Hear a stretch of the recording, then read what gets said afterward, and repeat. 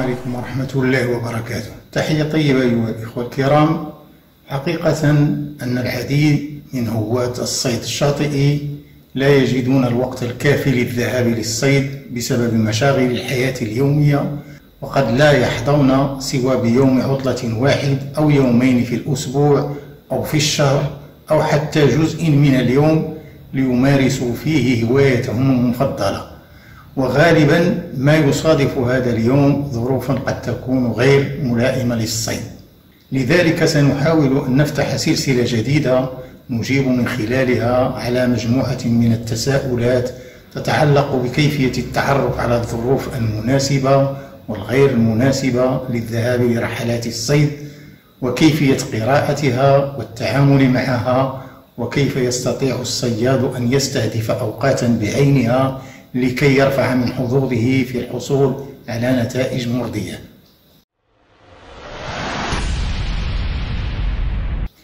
قبل ذلك أريد أن أخبركم بأن القناة تحتوي على ما يزيد عن المئتين وسبعين فيديو كلها تعنى بتقنيات الصيد الشاطئي بالطرق العلمية الصحيحة والتجارب الشخصية.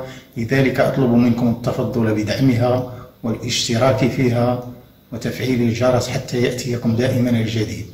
وبهذه المناسبة أريد كذلك أن أشكر كل الإخوة الكرام الذين يشجعونني على هذا المحتوى ويقولون في حقي كلمات طيبة تحفزني دائما على إعطاء المزيد.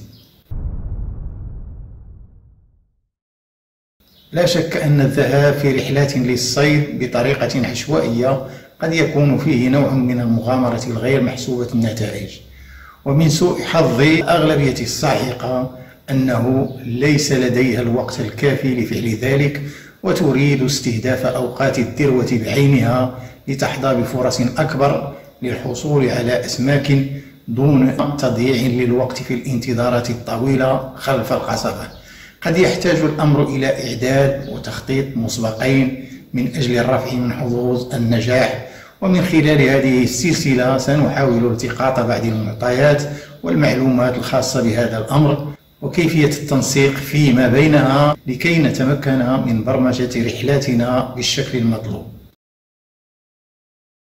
أول الأشياء التي يجب علينا معرفتها هو أنه ليست كل الأوقات تصلح للصيد. هناك أوقات مناسبة وهناك أوقات غير مناسبة كذلك. الأوقات المناسبة هي التي يحتمل أن تنشط فيها الأسماك بشكل جيد وتكون فيها الظروف البحرية ملائمة أما الأوقات غير المناسبة فهي التي يحتمل أن ينعدم فيها نشاط الأسماك أو يكون فيها البحر قوي الهيجان أو فيها مد بحري قوي بحيث يشكل خطرا كبيرا على الإنسان. وكذلك الظروف المناخية الغير مناسبة مثل العواصف إلى آخره. فيما يخص العوامل التي تؤثر على نشاط الأسماك فهي متعددة. منها ما هو معروف ومثبت علميا ومنها ما هو مبني على إحصائيات وتجارب المهتمين ومنها ما لا يعلمه إلا الله. ومن بين هذه العوامل تلك التي تخضع لقانون التجاذبات الفلكية أو طبيعة التضاريس أو التغيرات المناخية أو تعاقب فصول السنة أو فترات توالد الأسماك أو التيارات البحرية إلى آخره وفي أول حلقة من هذه السلسلة سنسلط الضوء على أحد أهم العوامل التي يتحتم على الصياد معرفتها قبل الذهاب للصيد وهي ظاهرة المد البحري معرفة هذه الظاهرة لوحدها ستوفر لك أكبر قدر من المعلومات حول أوقات الصيد المناسبة وغير المناسبة وما هو المد البحري؟ ببساطة شديدة المد البحري هو ارتفاع في مستوى البحر ويتمثل في ثلاثة أشكال المد البحري الفلكي والمرتبط ارتباطا وثيقا بالشهر القمري المد البحري الجوي والمرتبط بالتغيرات المناخية والمد البحري المسمى بالتسونامي والمرتبط بالزلازل. ويعتبر المد البحري الفلكي الأهم من بين الأشكال الثلاث. يجب علينا فهمه ومتابعته لما لديه من تأثير كبير على نشاط الأسماك وذلك على طول السنة وهو ظاهرة طبيعية تؤدي إلى ارتفاع ثم انخفاض في مستوى سطح البحر بشكل دوري وتسمى هذه العملية بالمد والجزر وتحدث مرتين في اليوم. ومن أسباب حدوث هذه الظاهرة هو ارتباطها بجاذبية القمر بصفة أساسية الشيء الذي يؤدي إلى ارتفاع في مستوى سطح الماء تدريجيا. كلما اقترب القمر من منتصف مساره والذي يتقاطع في زاوية قائمة مع المكان الذي نتواجد فيه على هذا الشكل مثلا.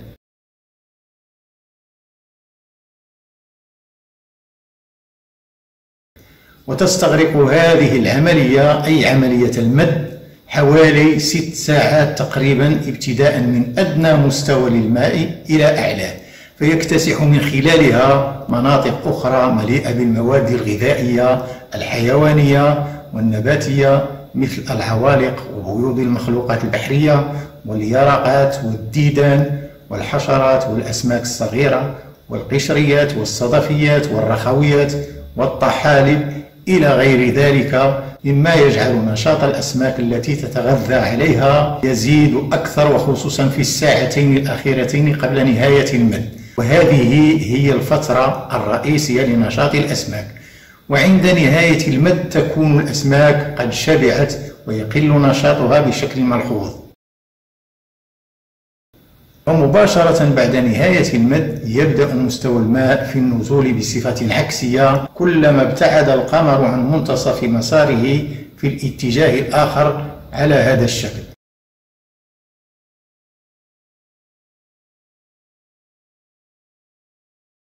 وتسمى هذه العملية بعملية الجزر وتستغرق هي بدورها حوالي ست ساعات تقريبا. خمس منها يقل فيها نشاط الأسماك ليستأنف بشكل ملحوظ في الساعة الأخيرة من الجزر وتعتبر هذه الفترة بالفترة الثانوية لنشاط الأسماك.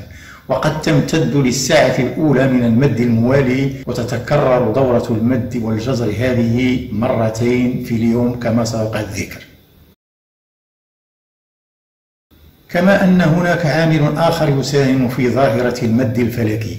يتعلق الأمر بقوة الطرد المركزي الناتج عن دوران الأرض حول نفسها. لذلك نلاحظ أن ما يحصل في النصف الكرة الأرضي العلوي الذي نتواجد نحن فيه من مد وجزر يحصل في النصف الآخر من الكرة الأرضية وفي نفس التوقيت. بمعنى آخر عندما يكون المد في النصف العلوي يكون المد في الجهة السفلية المقابلة كذلك. وعندما يكون الجزر في الجهة الفوقية يكون الجزر في الجهة السفلية المقابلة كذلك. وهكذا يرتفع منسوب الماء في اتجاه قوة الطرد المركزي من الجهتين الموجودتين في خط مستقيم مع القمر.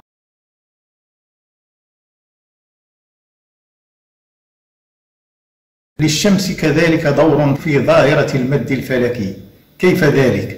لا بد أن العديد منكم قد لاحظ على أن مستويات المد والجزر تتغير تدريجيا من يوم لآخر إما صعودا في اتجاه المد العالي المرتفع وبلغة الصيادين بما يسمى بالمرية الكبيرة أو نزولا في اتجاه المد العالي المنخفض والمسمى بالمرية الصغيرة لماذا يا ترى؟ كما رأينا على أن حركة المد والجزر تنشأ بفعل جاذبية القمر بصفة أساسية ثم بسبب قوة الطرد المركزي الناتج عن دوران الأرض حول نفسها ثم بفعل جاذبية الشمس كذلك. وبما أن القمر أقرب إلى الأرض من الشمس فتأثير جاذبيته يكون الأكبر رغم صغار حجمه. لكن جاذبية الشمس لها تأثيرها كذلك. فهي تساهم في تغيير حجم المد يوميا حيث يختلف ارتفاع المد باختلاف موقع القمر في مداره بالنسبة لكل من الأرض والشمس مع بداية ظهور الهلال عند بداية الشهر القمري وعند البدر في منتصف الشهر يعلو المد إلى أقصى مداه نظرا لوقوع الشمس والقمر والأرض في خط مستقيم إما على هذا الشكل بالنسبة لأول الشهر حيث يكون القمر بين الشمس والأرض أو على هذا الشكل بالنسبة لمنتصف الشهر حيث تكون الأرض بين الشمس والقمر. فتضاف جاذبية الشمس إلى جاذبية القمر فيصبح المد في أعلى مستوى له. وفي هذه الحالة يكون المد والجزر كبيرين جدا. وفي اليومين السابع والواحد والعشرون من كل شهر قمري يكون المد ضعيفا بسبب وقوع كل من الشمس والقمر في خطين متقاطعين في زاوية قائمة رأسها هو مركز الأرض. إما على هذا الشكل أو على هذا الشكل فتحد جاذبية الشمس من جاذبية القمر فيصبح المد والجزر في أدنى مستوى لهما. وباختصار شديد في كل نهاية الشهر القمري يكون المد العالي مرتفعا ثم يبدأ في الانخفاض يوميا مع بداية الشهر الموالي إلى أن يصل إلى أدنى مستوى له في اليوم السابع من الشهر. فيصبح المد العالي منخفضا ثم يبدأ في الصعود ليبلغ ذروته في اليوم الرابع عشر ليستأنف عملية الانخفاض من جديد ابتداء من اليوم الخامس عشر ليصل مرة أخرى لأدنى مستوى له في اليوم الواحد والعشرون من الشهر فيعيد عملية الصعود إلى أن يبلغ ذروته مع نهاية الشهر فتبدأ دورة جديدة مع شهر جديد إلى آخره. وهكذا في كل شهر قمري نسجل مدين عاليين مرتفعين ومدين عاليين منخفضين. كما رأينا على أن معرفة أيام الشهر الهجري مسألة محورية توفر لك معلومات أولية حول حجم المد وحجم الجزر هل هو مد عالي مرتفع والذي يتزامن مع اليومين الأولين من أول الشهر يعني واحد واثنان وأيام منتصف الشهر يعني 12 13 14 15 وكذلك في الثلاث أو أربع أيام الأخيرة من الشهر أيام 27 28 29 30 إن كان الشهر يستوفي الثلاثون. أما المد العالي المنخفض يكون في أيام 6 و7 و8 وفي أيام 20 21 22 وكل هذه الأيام تسجل ارتفاعا ملحوظا في نشاط الأسماك إذا لم يكن هناك عامل آخر يمنع ذلك كما سنرى في الحلقات القادمة بحول الله وقوته. في حين الأيام الأخرى ما بين فترات المد العالي المرتفع وفترات المد العالي المنخفض إما صعودا أو نزولا فيقل فيها نشاط الأسماك بشكل ملحوظ. ولكي نتمكن من تحديد أوقات المد والجزر فإما بالمراقبة العينية للقمر فقط فإذا عاينا بداية لطلوع القمر هذا يعني أننا في فترة جزر مكتمل وبداية مد جديد.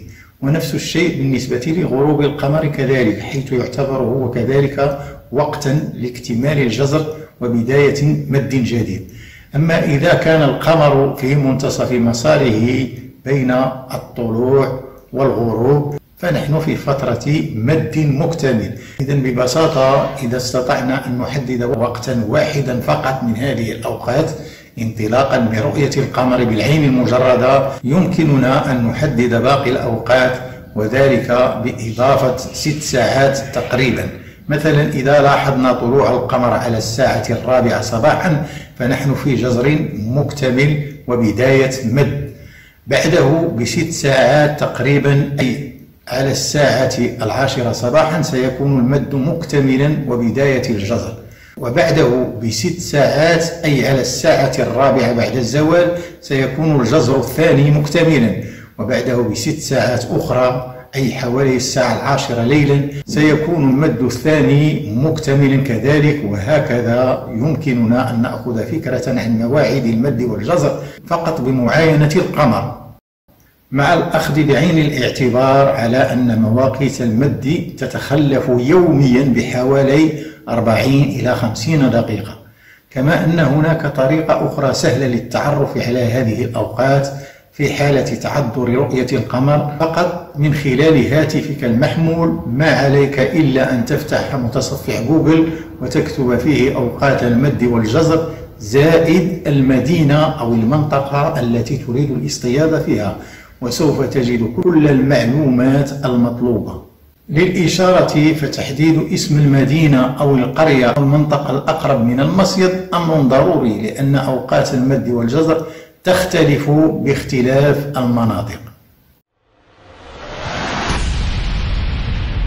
إذا عرفنا ما هي أيام المد العالي المرتفع والمد العالي المنخفض وسيكون من المناسب كذلك أن نتعرف على أحجام المدود بالتدقيق على طول الشهر لأنها تختلف من يوم لآخر ومن شهر لآخر وقد نصادف في بعض الأوقات المد العالي المرتفع كبير جدا بحيث يكون المد والجذر فيهما كبيرين.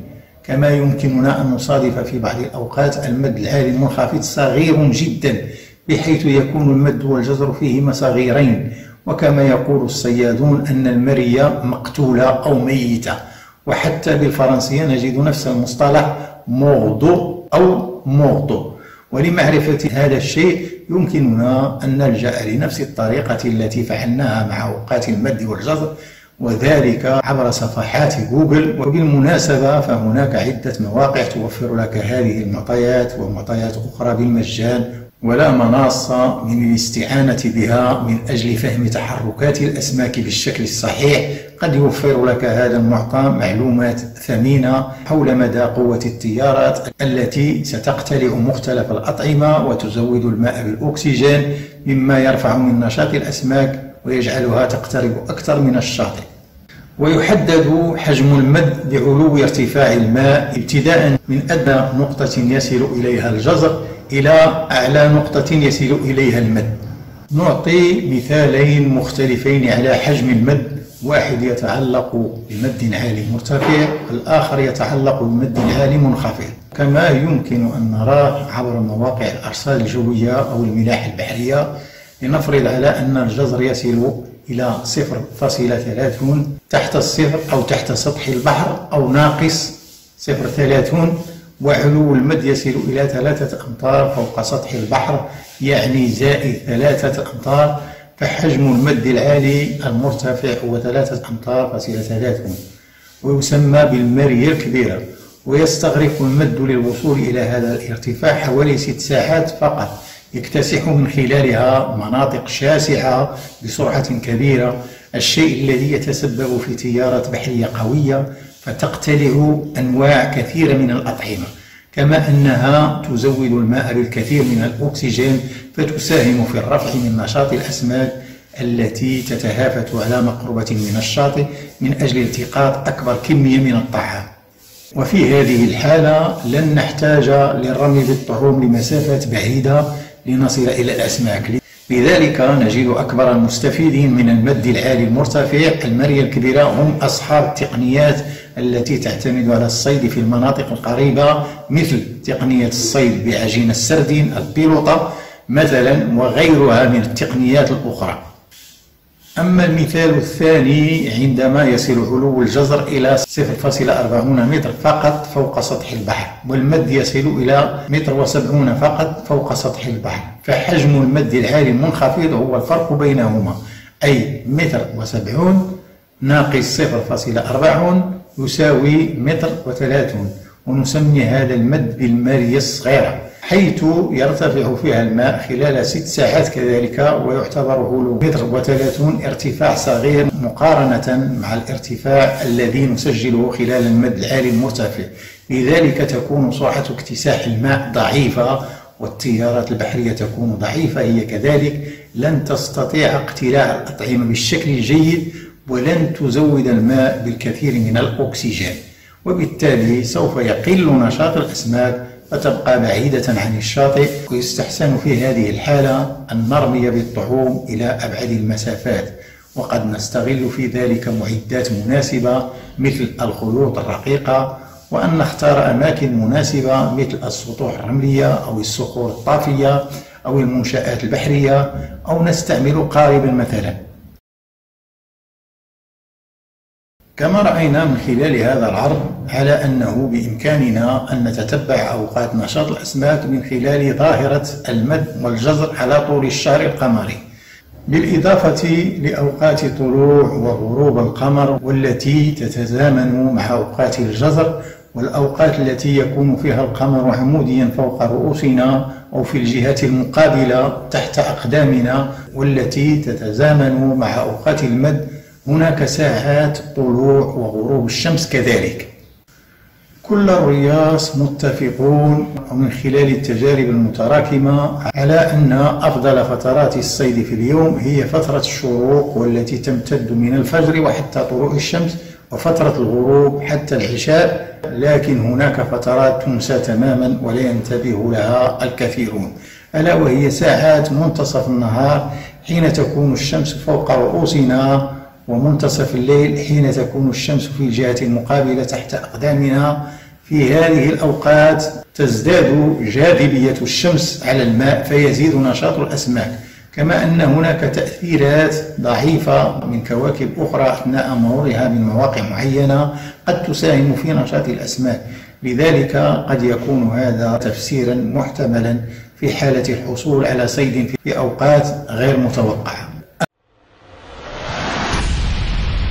أما المد البحري الجوي فهو ارتفاع في مستوى البحر قد ينتج عن اضطرابات جوية تحدث على سطح البحار والمحيطات بسبب العواصف الشديدة والأعاصير فتتسبب في انخفاض شديد للضغط الجوي واشتدادا في سرعة الرياح السطحية والرياح القوية تولد أمواج عالية على سطح البحر. كما أن انخفاض الضغط الجوي يساهم في الرفع من مستوى الماء زيادة على ذلك يمكن للأمطار الغزيرة المصاحبة لهذه الاضطرابات أن تساهم في الرفع من مستوى الماء عندما تصل هذه الاضطرابات إلى المناطق الساحلية. وقد نلاحظ هذه الظاهرة في فصل الشتاء حين يبلغ علو الأمواج ما فوق أربعة أمتار وقد يصل في بعض الأحيان إلى عشرة أمتار فيصل البحر إلى أماكن غير معتادة قد تطال البنايات والممتلكات والبنى التحتية والمناطق الفلاحية مثل ما نشاهد في أجراف مدينة الرباط وقد تحدث بها أضرار جسيمة بل وحتى بالإنسان كذلك. ويعتبر الصيد في هذه الظروف مغامرة خطيرة جدا على الإنسان بل حتى الأسماك تفقد بوصلتها في ظروف مثل هذه فتفقد شهيتها كذلك. فيما يخص ظاهرة المد البحري التسونامي فنادرا ما تحدث وتتسبب فيها الهزات الأرضية المسجلة داخل البحر ومن الصعب التنبؤ بها متى وأين سوف تحدث وما مدى قوتها. لا شك أنها الأخطر على الإطلاق. إن وقع الزلزال بعيدا عن المكان الذي نتواجد فيه فقد يصلنا مده خلال ساعات قد تتمكن السلطات من إخطار الناس. لكن إن حدث قريبا فانتظر الساعة. ومن بين ملامح حدوث المد البحري التسونامي هو أنه قبل هجوم المد على الشاطئ نلاحظ حدوث جزر غير معتاد يتراجع فيه البحر إلى مستويات لم نعهدها من قبل. فإذا وقع هذا وأنت في الشاطئ لقدر الله فما عليك إلا أن تصعد بسرعة إلى أعلى الأماكن القريبة منك وتراقب الوضع من بعيد.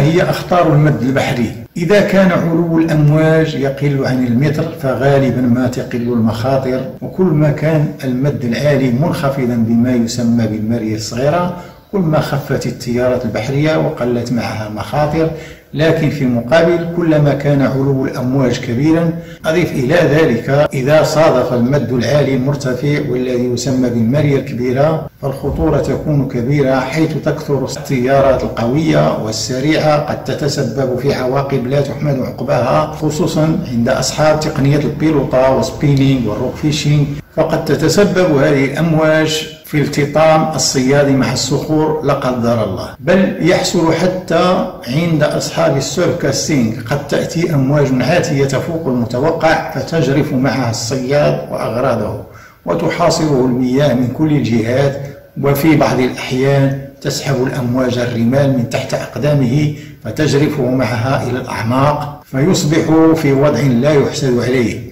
وفي كل سنة نسجل مثل هذه الحوادث المؤسفة التي تحصل حتى مع بعض الممارسين المواظبين. نسأل الله السلامة إذا كل الحيط والحذر من هذه الظروف الغير مناسبة. ونحن نتحدث عن الشواطئ المغربية التي لا يتجاوز علو المد فيها عادة الثلاثة أمتار ونصف.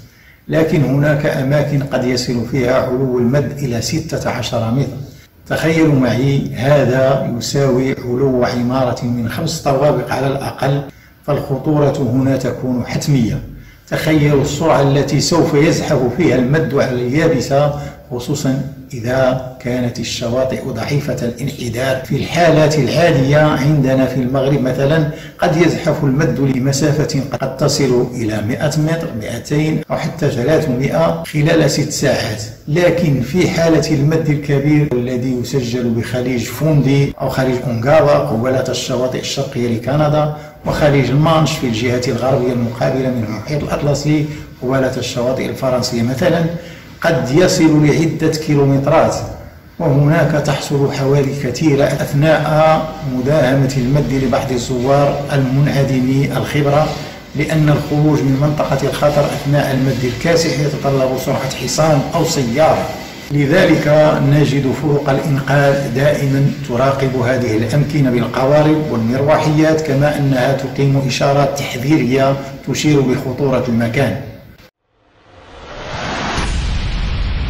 إذا باختصار شديد معرفة أوقات المد البحري يجب أن تكون من البديهيات لما توفره من معلومات مهمة حول فترات نشاط الأسماك من أجل استهداف أوقات الذروة كما أنها توفر لنا معلومات حول مخاطر البحر لنتجنبها قدر المستطاع.